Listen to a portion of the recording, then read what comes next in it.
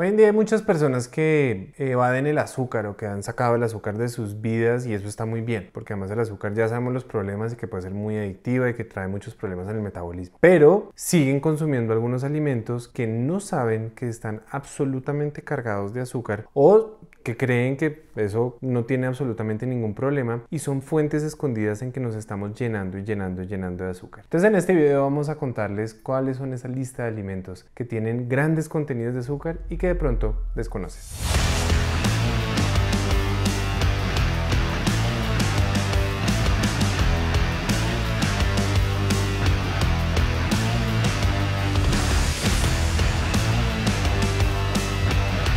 Hola, ¿qué tal amigos? Yo soy el doctor Carlos Jaramillo, soy médico funcional y soy el autor de los libros El Milagro Metabólico y El Milagro Antiestrés. Ya sabes que los libros los puedes conseguir en Colombia, en todas las librerías, en Chile, en México, en Estados Unidos, pero también si no estás en ninguno de estos países, los puedes conseguir en todas las plataformas digitales como iBooks, Google Books o Kindle. Recuerda también que lo que hacemos en medicina funcional es tratar el origen de la enfermedad. Antes de seguir con este video, quiero pedirte un favor y es que la mejor forma como nos puedes ayudar con estos videos es dándole like al video. Y una vez le hayas dado like, por favor, suscríbete al canal y activa la campana para recibir notificaciones. ¿Cuál es esta lista de alimentos que son cargados de azúcar que uno muchas veces no sabe? Que uno se los está comiendo porque cree que está que ya saqué el azúcar de mi vida y quiero tener buena salud. Entonces empecemos. El primero de ellos son los yogures bajos en grasa. Cuando un yogur lo hacen bajo en grasa con leche descremada, le tienen que mejorar el sabor y le tienen que mejorar la consistencia. Y la única forma de hacer eso es con azúcar. Y uno dice, pero ay, no, no puede ser. Sí, lo hacen con azúcar. Lo hacen con azúcar y lo hacen con otro tipo de endulzantes que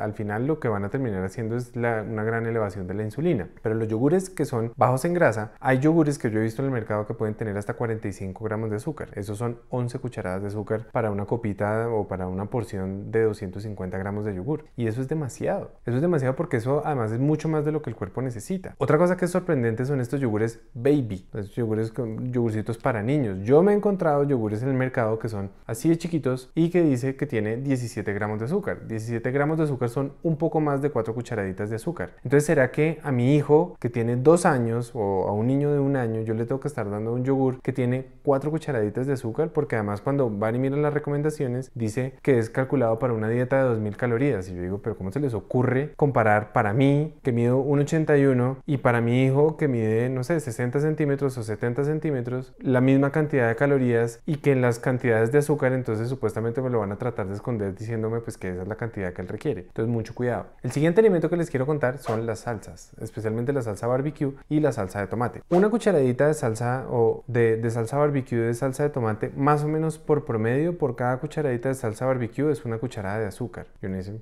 pero ¿cómo así? Pues sí, además que la mezcla casi nunca tiene tomate. Entonces lo que termina teniendo es un colorante, un sabor y es simplemente azúcar pura que nos estamos comiendo y la salsa barbecue pues a uno le parece delicioso porque es dulce y se la ponen a las costillas o a lo que sea que se va a comer, pero el problema es la cantidad de azúcar tan alta que tiene y lo mismo pasa con la salsa de tomate que creen que no pasa nada con ponérsela a la pasta, con ponérsela al arroz o a las papas eh, freídas, pero eso termina siendo un grave problema. El siguiente alimento que vamos a hablar, que lo hemos discutido varias veces, es el jugo de fruta. El jugo de fruta dice, cuando uno coge el tarro, la, botella de, jugo de fruta, y dice azúcar cero. Y dice azúcar cero porque el azúcar es la unión de fructosa con glucosa. Pero los jugos de fruta son fructosa 100% pura y suelta. La fructosa pura y suelta es un gravísimo peligro porque el hígado no tiene cómo manejarla. Y es un grave peligro además porque eso genera mucha inflamación. Entonces cuando yo miro los ingredientes y dice jugo de naranja 100% natural, exprimido y puro y sano y celestial y todo, pues eso es un grave problema. Y además que en esa información de nuevo pueden poner azúcar cero porque para que sea considerado azúcar tiene que tener algún algo, así sea un poquito, 20%, 10%, 40% de glucosa, pero como es fructosa pura, entonces dice azúcar cero. Entonces uno cree que este es el mío y esto no tiene ningún problema porque yo ya saqué el azúcar de mi vida, pero voy a tomar jugo de fruta y el jugo de fruta es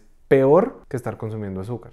El siguiente que les quiero hablar es sobre las bebidas deportivas. Yo no sé si ustedes saben o si han visto que una bebida deportiva puede tener la misma cantidad de glucosa que una gaseosa. Entonces hay bebidas deportivas que tienen 29, 35 gramos de azúcar por porción y cuando uno va y mira por detrás y dice tamaño de la porción es un poquito más de la mitad del, tarro. O sea que el tarro puede tener una porción y media, 1.3 porciones. Entonces ya cuando uno lo lleva al contenido completo, el contenido completo no se podría estar tomando tomando 40, 45 gramos de azúcar. Y cualquiera pensaría, pero pues es que cuando uno hace ejercicio uno pierde glucosa, entonces necesita azúcar. Eso no es verdad. Uno pierde glucosa, pero uno no necesita azúcar. Uno no necesita reponerse eso porque además yo puedo reponer la glucosa o puedo utilizar la glucosa de diferentes formas durante el día comiéndome cualquier otra fuente. Si yo como vegetales, yo de esos vegetales voy a aprovechar la fibra y todo eso y eso me va a dar también suficientes fuentes de glucosa y además yo puedo incluir después buenas grasas también y de ahí yo puedo terminar convirtiendo de utilizar para glucosa, pero al fin y al cabo uno no necesita consumir azúcar de ninguna forma. Que uno la puede utilizar algún día para un postre y eso que se lo quiere comer, pues dale, cómetelo. Pero que si es necesaria, no, no es necesaria y mucho menos pensar que es necesaria después de hacer ejercicio. Entonces, mucho cuidado. Que estas grandes bebidas además patrocinan equipos de fútbol, selecciones de fútbol, muchos equipos de deportes en muchas formas. Y yo no sé por qué lo hacen, porque al final lo único que están promoviendo es a que la gente crea que eso es algo saludable y es algo lejos de ser saludable. El siguiente alimento es muy común y es muy común que la gente lo consuma pensando que es muy sano y es la granola.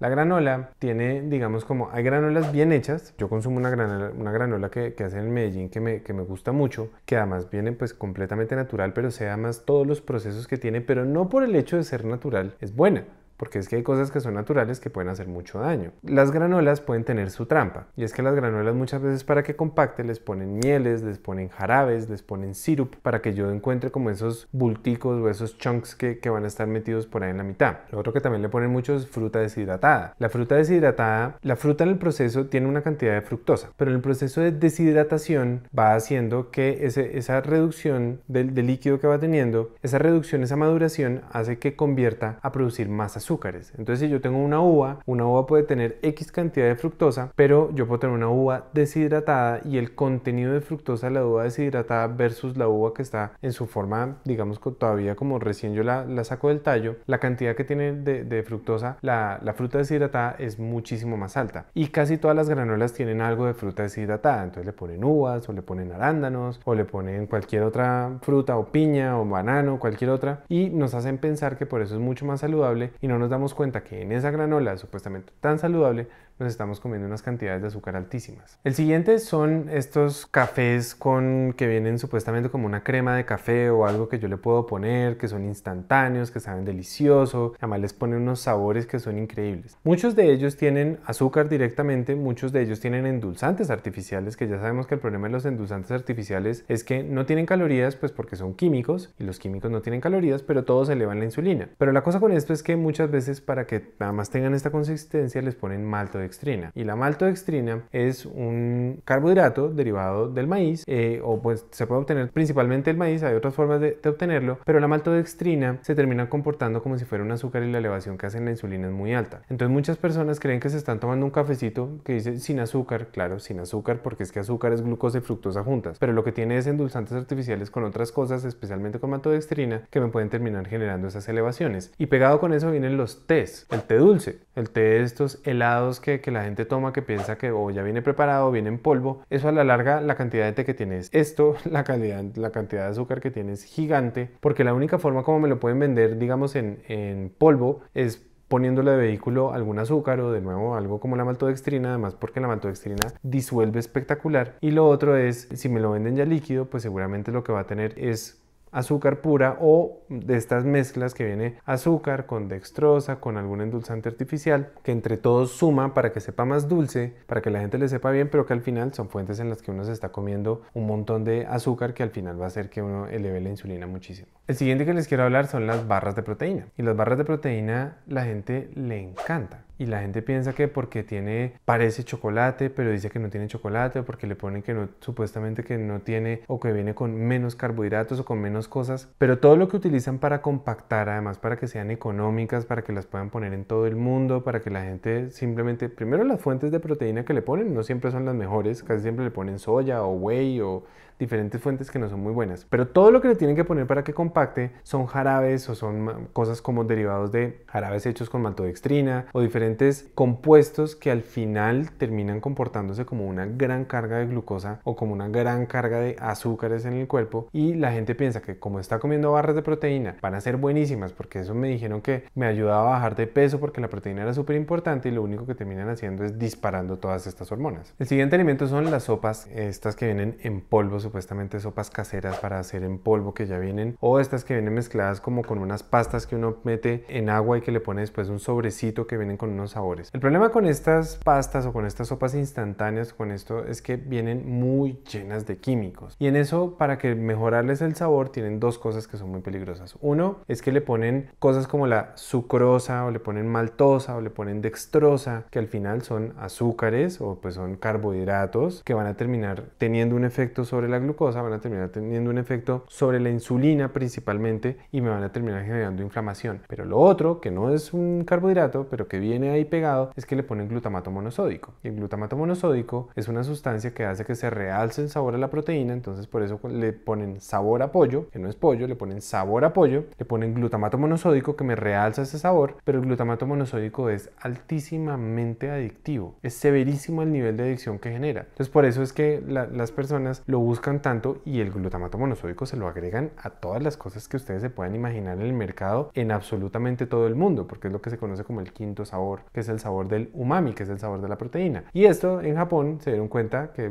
inicialmente se comercializaba como Ajinomoto, que lo podían distribuir y eso hacía que muchas comidas supuestamente les mejorara el sabor. El siguiente que les quiero hablar es sobre el cereal de caja. El cereal de caja o las barras de cereal, que se comporta exactamente igual o se comporta muy parecido a cómo se comportan las barras de proteína, que al final sí le ponen algún cereal, ya sea maíz o le ponen trigo, le ponen cualquier cosa, pero lo único que terminan llenándola es con un montón de azúcares, entonces por favor fíjense en los ingredientes y en las tablas nutricionales lo que tienen. Otro que quiero contarles es las frijoles que vienen en lata. Frijoles que vienen en lata, muchas veces cuando uno mira también el listado de ingredientes vienen con muchos azúcares y son azúcares que no van a ser para nada buenos y que uno se los come pensando que se está comiendo una buena cantidad de frijoles porque los frijoles son buenos y lo único que está haciendo es comer un poquito de frijoles, pero todo lo que le pusieron para poderlo conservar es un montón de azúcares. Y el último que les quiero incluir es la fruta que viene en lata. La fruta que viene en lata tienen que ponerle para, poder, para que se pueda conservar por meses y meses y meses dentro de la lata. Le tienen que poner agua con más azúcar de la que ya tiene, por eso es que a mucha gente le gusta tomarse ese juguito de la piña enlatada o el juguito de los cócteles de frutas enlatados, pero eso a la larga es un jarabe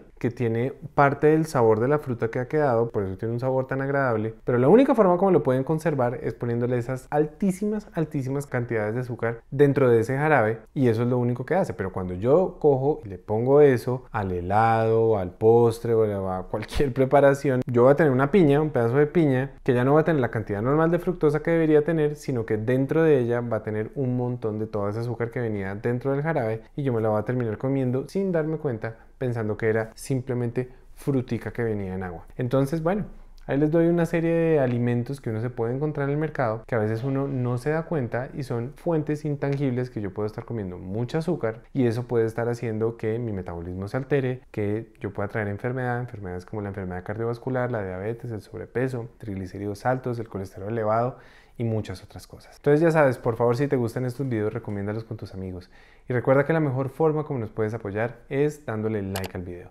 Y una vez le hayas dado like al video, por favor suscríbete y activa la campana para ser el primero en recibir notificaciones cada vez que hagamos un nuevo video.